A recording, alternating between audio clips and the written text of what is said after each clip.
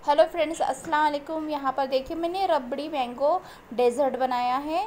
इसे आप रबड़ी mango short भी बोल सकते हैं।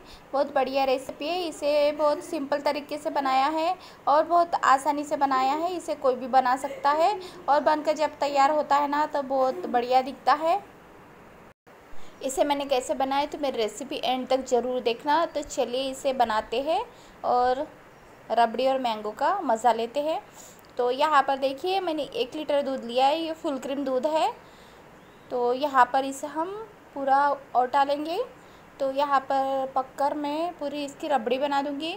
अगर आपका दूध फुल क्रीम नहीं है तो आप मलाई भी डाल से, डाल सकते हैं इसमें, जो सादा दूध लेना है टोंड वाला दूध लेना है और उसमें मलाई खूब सारी मतलब एक दो कटोरी मिक्स कर देना है तो आपका फुल क्रीम दूध रेडी हो जाएगा। तो यहाँ पर देखिए यहाँ पर रबड़ी रेडी हो चुकी है और मैंने शक्कर भी डाल दी है।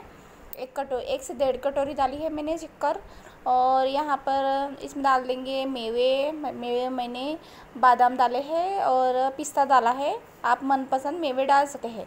और यहाँ पर मैंने मैंगो लिया है। मैंने तीन मैंगो लिए थे।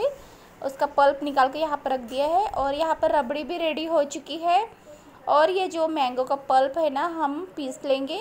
मिक्सर में चला लिया है।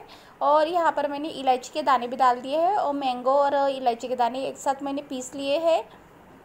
और जो है ना, वो रबड़ी मैंने एक सर्विंग बाउल में निकाल दी है। इसमें मैं रेडी करूँगी सारी, सारा डेजर्ट तो यहाँ पर मैंने मैंगो डाल दिया है रबड़ी में। यहाँ पर मैंगो में रबड़ी अच्छे से मिक्स कर देंगे। तो यहाँ पर देखिए, रबड़ी में मैंगो मिक्स हो चुकी है और कलर भी चेंज हो चुका है। आप तीन आम के जगह पे चार से पाँच आम डाल सकते हैं और यहाँ पर हमारी रबड़ी रबड़ी मैंगो रेडी हो चुका है। अब इसे गार्लिश कर लेंगे। तो यहाँ पर मैंने पिस्ता डाला है, बादाम डाला है, बादाम के कतरन डाले हैं, पिस्ता डाला है। आप काजू भी डाल सकते हैं, किशमिश भी डाल सकते हैं, मनपसंद मेवे डाल सकते हैं। तो यहाँ पर मैंने आम के स्क्यूब भी डाले हैं छोटे छोटे आम के स्क्यूब दिखने में बहुत बढ़िया दिखते हैं। आप अनार वगैरह भी डाल सकते हैं, पर वो अच्छा नहीं लगता, इसलिए मैंने आम ही डाला है। तो यहाँ पर देखिए, हमारा डेजर्ट रेडी हो चुका है। इसे फ्रिज में रख दीजिए। फ्रीज़र में बिल्कुल नहीं रखना है, नहीं तो बर्फ़ बन जाएगा। आप फ्रीज़र में रखिए और जब मन करे तब ठंडा ठंडा सर्व कीजिए।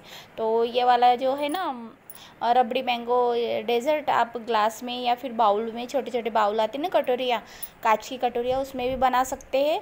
उसमें रेडी कर लेना है और जब भी आपके घर में मेहमान आए या फिर आपका कभी भी मन, खाने का मन होता आप ये खा सकते हैं। बहुत बढ़िया रेसिपी है, इसे आप कभी भी ट्राई कर सकते हैं। तो चलिए फिर मिलते हैं नेक्स्ट वीडियो में।